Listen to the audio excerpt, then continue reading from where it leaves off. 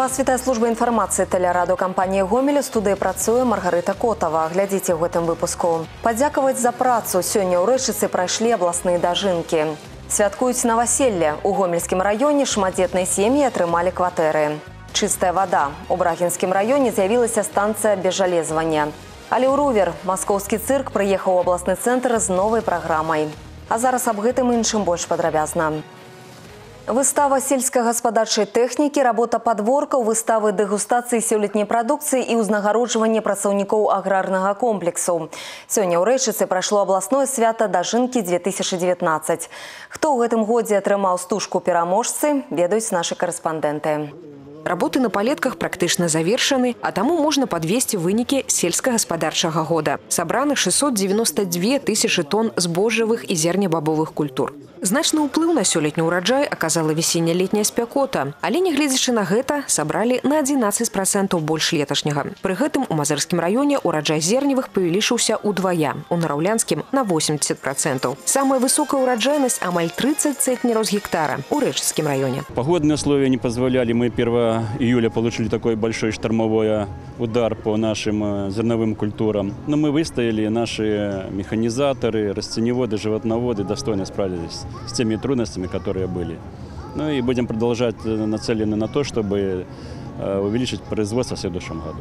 Сёлетняе жніво вызначыла новыя прозвішчы перадавікоў. У 188 экіпажаў намалот тысяча і больш тонн зерня. Два экіпажы намалацілі звыш 6 тысяч тонн. Пры гэтым сярод экіпажаў тысячнікаў 23 маладзёжныя. Приходим к 7 утра, обслуживаем комбайны, продуваем, заправляемся, чистим. Ну, обычно, как погода позволяет, пока роса не ляжет. Может быть, и до 12 иногда получалось Пераможцаў па вытворчасці зерня сёлета на гомельшчыне вырашылі не вызначаць. Сярод гаспадарак лепшы па гэтым паказчыку саўгас-камбінат зара мазырскага раёна. Лепшы старшы камбайнер Васіль Коваль загаракамбіната Холміч рэчыскага раёна. Лідар сярод вадзіцеляў па перавозцы зерня Уладзімир Бандарэнка з ксуп Веляцін, што на хойнікшыне. Што тычыцца вытворчасці прадукцыі жывёлагадоўлі, тут пераможцы названы мазырскі раён. Па словах кіраўніцтва рэгіёна асаблівых сакрэтаў поспеху няма. Неабходна добрасумленна працаваць, не парушаць технологии и добро доглядать за живелой. За именно это уход и кормление. И у наших людей это получается, потому что они очень ответственно относятся к порученному участку. И добавляя каждый год, позволяют себе наращивать и объемы производства, объемы реализации. Это прежде всего их заработная плата. И сегодня э, с уверенностью можно сказать, что 1100 рублей, которые имеют э, в агропромышленном комплексе наши люди, аграрники в сельском хозяйстве, позволяет нам еще делать такую задачу максимум, чтобы еще добиться лучших результатов Да удзельнікаў і гасцей абласных дажынак звярнуўся прэзідэнт Беларусі Александр Лукашенко. У прывітальным адрасе словы падзякі за дасягнутыя поспехі. Вы немало папрацавалі і сабралі годны ўраджай. Гомельшына займае адно з вядучых месцаў па вырошчванні кукурузы. Малочная прадукцыя мясцовых заводаў з'яўляецца беларускім брэндам, які вядомы далёка за межамі краіны. Абласныя дажынкі гэта не толькі падвядзенне вынікаў, але перш за ўсё свята працаўнікоў вёскі. Добры настрой імкнуліся стварыць на кожным падворку. Дэманстрацыі сабранага ўраджаю сама самабытнымі мясцовымі абрадамі і народнымі спевамі.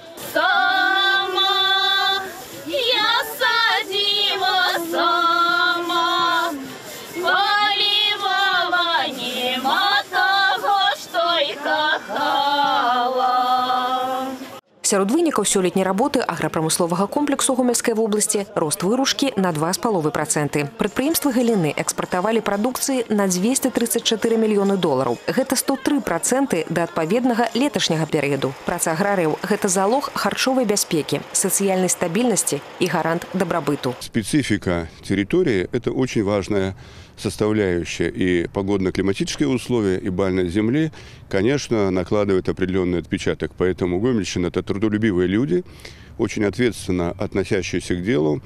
И для того, чтобы получить тот результат, который сопоставим с другими областями, еще раз повторюсь, надо работать в два раза больше. Поэтому у меня очень уважительное отношение к жителям, труженикам села, потому что это очень работящие люди, очень ответственны за свой порученный участок. И Гомельщина достаточно достойно держит свою марку. Гомельщина – это не аграрная область, это так на самом деле, если говорить о вал. В промышленности Гомельщина держит стабильно первое место в республике.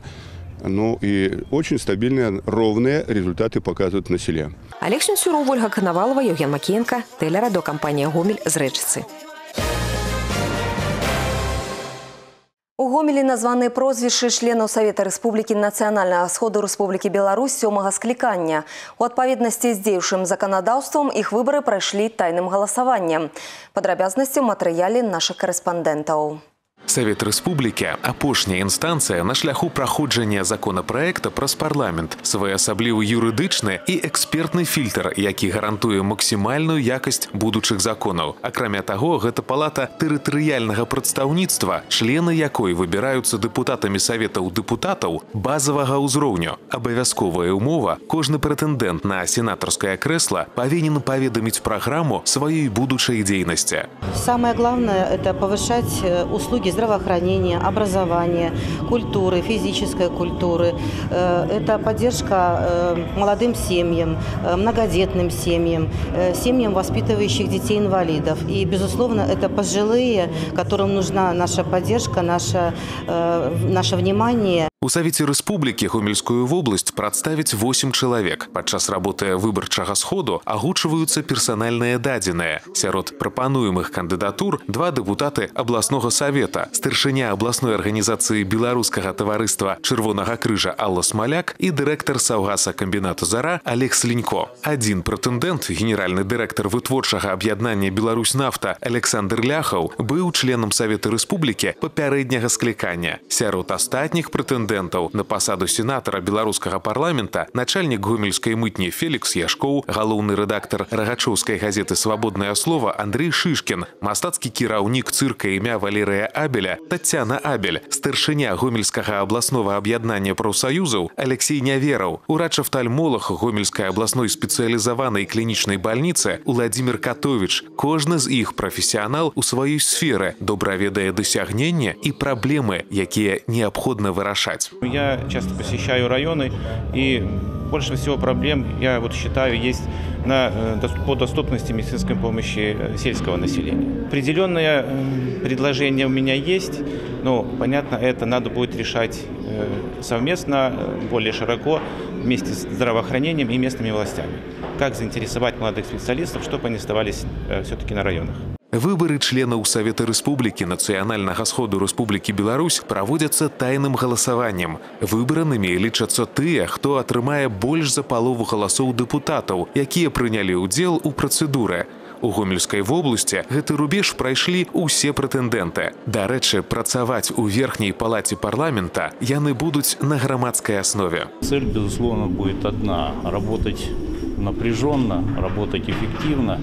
И самое главное, чтобы вот эта работа и, надеюсь, положительные результаты этой работы были направлены на решение тех вопросов жизненных, э, иных, э, которые возникают и у наших граждан, и, может быть, где-то в экономической, производственной сфере. Олег Сюнцюроў, Александр Гавейка, Валерый Гапанько, тэлерадыёкампанія «Гомель».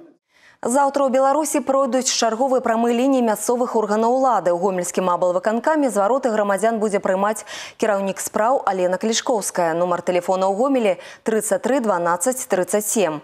Прамая лінія працуе з 9 до 12 гадзін. У гэты ж час на сувязі будзе першы намеснік старшыні гомельскага гарвыканкама Александр Сівакоў. Нумар тэлефона прамой лініі 33 09 59. Ключы ад новых кватэр атрымалі 60 шматдзетных сем'яў з гомельскага района. Тут актыўна вырашаецца пытанне забеспячэння жыллём гэтай сацыяльнай катэгорыі. У доме 5 паверхаў сцены з трохслоевых энергаэфектыўных панеляў. Двух- і трохпакаёвыя кватэры пакуль без аздаблення. Будаўніцтва ў пасёлку бальшавік вялося з прыцягненнем дзяржаўных субсідый. Наваселля святкуюць сем'і, якія мелі патрэбу ў паляпшэнні жыллёвых умоў і стаялі ў чарзе. Просторно, много места. Мы ютимся в двух комнатах маленьких в общежитии. А вот здесь вот каждому по комнате хорошо, уютно. И, ну, уют там и сами, конечно, сделаем, но вот все мне все нравится. Пяціпавярхоўка з новай серыі гомельскага дома будаўнічага камбіната. Галоўная перавага сістэма індывідуальнага ацяплення. У кожнай кватэры ўсталяваны ўласны газавы кацёл. Это не ноу-хау, такие дома у нас строятся повсеместно в республике и применили здесь. Возможно, для поселка Большевик это будет э, нечто новое, но мы старались, чтобы жители ощутили тепло и уют в этих квартирах. Дом пабудаваны ў рэкордны тэрмін за чатыры месяцы. На дваровай тэрыторыі ўстаноўлены дзіцячыя пляцоўкі, ёсць паркоўка. У крокавай даступнасці школа, дзіцячы сад і гандлёвыя аб'екты. Чыстая питная вода прыйшла ў аграгарадок Малажын Барагінскага района. Тут пабудавалі новую станцыю абежалезвання. Яна цалкам аўтаматызавана і разлічана на бесперапынную працу. Пры гэтым станцыя дастаткова невялікая памерам з гараж, але гэтых магутнасцей хапае, каб ачышчаць каля 500 кубаметраў вады ў суткі. Унутры ўстаноўлена айчыннае абсталяванне, яно дазваляе знізіць утрыманне жалеза ў 10 разоў. Станция обезжелезная работает полностью в автоматическом режиме. В автоматическом режиме понимают, что здесь не, нету обслуживающего персонала. Э, Она полностью диспетчеризирована и э, вся управляется из центрального офиса райжилкомхоза. У Малажыне каля 500 жыхароў пытанне будаўніцтва станцыі для іх асабліва вострае. Да воду аб'екта питная вода ў вёсцы не адпавядала санітарным нормам. У нас машины стиральные, приходилось постоянно э, покупать средства для того, чтобы не было накипи, вода была ржавая. Ванны приходилось постоянно э, чистить чистящими такими хорошими, с анексом, допустим. Э, ну и в чайнике постоянно накипь. Либо приходилось набирать воду в ведро, которое стояло долго, потом она отстаивалась. А для питья мы вообще, допустим, ходили, брали в колодец. Сёлета ў гомельскай вобласці прадугледжана будаўніцтва 44 станцый абежалезвання. Гэта дазволіць забяспечыць чыстай вадой каля 30 тысяч чалавек. Пры выбары аб'ектаў прыярытэт аддаецца населеным пунктам з найбольшай колькасцю жыхароў, а таксама тым, дзе найгоршыя паказчыкі па ўтрыманні жалеза ў вадзе. Апошні ўраджай у восеньскім лесе. Грыбнікі рэгіёна ў асноўным закрылі сезон ціхага палявання. Але засталіся аматары здабыць грыб і ў лістападзе. Надвор'е ў апошнія дні дазволіла. Хтосьці хваліцца ўраджаем у сацыяльных сетках, а хтосьці вырашае паказаць усім свае грыбныя знаходкі. Вы знаете, из 10, из 20 может быть э, один э, нормальный, остальные чуривые. Гамяльчанін Эдуард Раманько грыбнік з амаль 80гадовым стажам. На днях прынёс з лесу апенькі такога памеру, які за свой век ніколі не бачыў. Ён вырашыў, што не сфатаграфаваць або зняць на камеру такую прыгажосць, а расстаніць знаходку толькі як ежу проста немагчыма. Да таго ж дасведчанага грыбніка збянтэжылі памеры здабычы. Патрабавалася экспертнае заключэнне і наогул адзнака значнасці знаходкі. Развеялі сумненні і ацанілі вынік ціхага палявання навуковыя супрацоўнікі Гомельскага інстытута лесу. То, что мы видим сейчас, это плодовое тело только. А сам по себе гриб – это более сложный организм, состоит из белого мицелия. Вот если вы посмотрите здесь, вот здесь хорошо можно показать. Это в целом характерно для грибов. Предела роста у них нет. Ну, вот таких крупных опят тут даже, понимаете, как не столько его высота, сколько вот диаметр ножки для меня. Вот я первый раз такой вижу. Раньше, пока был молодым, так я увлекался, занимался, бегал, э, собирал, ну, только для себя, только для себя. А сейчас мне уже 84 год. Забежал просто в лес подышать таким свежим воздухом, ободрить себя. Боровики большие есть, все это есть. А вот э, опять впервые я встретил. Неардынарны і незабыты. У карцінай галерэі Гаўрыла Вашанкі адкрылася выстава віцебскага мастака Олега Прусава «Месяц Ай». Гэта апошні праект жывапіса, які ён не паспеў завяршыць пры жыцці. З творчасцю аўтара знаёмілася Ганна Каральчук. Ён пражыў усяго 26 гадоў, але пакінуў пасля сябе вялікую творчую спадчыну. Олег Прусаў паспеў стварыць каля 200 жывапісных і графічных работ. Яго палотны знаходзяцца ў прыватных калекцыях і галерэях Расіі, Даніі, Швецыі, Германіі, Галандыі. Ёсць яны ў музеі Марка Шагала ў Віцебску. Наогул у сваім родным горадзе Прусаў стаў легендай. У 19 гадоў ён разам з сябрам стварыў творчую групу «Убікус», якая за 6 гадоў арганізавала 13 выстаў. На іх прыходзілі сотні людзей. Мы помним эти времена, когда молодежи вообще практически невозможно было пробиться. И вот э, два молодых человека, Олег Прусов и Виктор Лосминский, они действительно для Витебска были таким прорывом. Вот, то есть появились какие-то новые темы, появилось, появилось такое влияние уже символизма, влияние шестидесятников. И Олег абсолютно символичный художник, художник-символист, наверное, даже где-то. Художник-романтик, художник с э, таким сложным внутренним миром, живущий в таком, э, как бы, полунищенском советском бэкграунде. У 92 годзе Олег перамог у конкурсе Трацяковскай галерэі лепшая работа года. Выставу месяц Ай мастак рыхтаваў яшчэ ў 96-м. Аднак ён не ажыццявіў гэты праект. Адчувае, што смерць пасцігне яго рана, хлопец старанна тварыў да апошніх дзён. За слепаты пісаў з дапамогай павелічальнага шкла. Аднак хвароба і адсутнасць неабходных лекаў аказаліся мацней. І вось праз больш чым 20 гадоў са дня смерці мастака яго пляменнік Станіслаў Прусаў сабраў разам вялікую калекцыю работ жывапісца і падарыў жыццё гэтай экспазіцыі. Менавіта ў гомелі прадстаўлены тры карціны, якія былі знойдзены зусім нядаўна. У нас э, ну, изначально в семье определенное количество картин хранилось. Потом подключили знакомых, вот, тех же Сидоренко, Сергея, Оксаны были работы. Потихоньку узнавали круг знакомства, который был нам неизвестен. Таким образом, ну, некоторые работы нам давали возможность экспонировать, поэтому брали, ездили в Самару, что-то приобретали даже, потому что некоторые работы трех собственников сменили. То есть, ну, это достаточно кропотливая работа была, чтобы собрать эту коллекцию. На сегодняшний момент мы можем показывать, причем в разных вариациях в каждом городе. У работах Олега Прусава няма ідэальных ліній персанажаў. Гэта нешта інтэлектуальнае і складанае, дзе кожная дэталь мае сваю каштоўнасць. Палотны напоўнены светлым смуткам. Аўра кожнай карціны быццам ахінае таго, хто на яе пазірае. Тыя ж эмоцыі выклікаюць вершы і проза мастака. Выстава ў гомелі працягнецца да 1 снежня. Потым адправіцца ў Гродна і Мінск. Ганна Каральчук і Гармарышчанка, тэлерадыёкампанія «Гомель». У гомельскім дзяржаўным цырку стартавала новая праграма з незвычайнай, аднак прывабнай назвай «Алюрувер». Гледачы сустрэлі гасцей аншлагам. А ў адказ атрымалі незабыўныя ўражанні ад прадстаўлення, насычанага яскравымі нумарамі.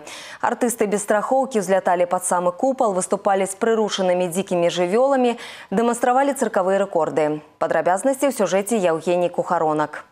Пачаць патрэбна з назвы адпаведна тлумачальнаму слоўніку, але ў рувер гэта чытанне пераклад п'есы без падрыхтоўкі. Іншымі словамі імправізацыі. І яна каралева новай праграмы, а вось каралём выступае містер Трук. Такое спалучэнне адбайнай падрыхтоўкі з экспромтам удалося ўвасобіць у жыццё дзякуючы кіраўніку праграмы Юліі Філатавай, прадстаўніцы легендарнай цыркавой дынастыі. Менавіта яна, прыхільніца класічнага цырку, давала згоду на самыя неверагодныя задумкі маладых артыстаў. Сярэдні ўзрост у калектыве 25 гадоў.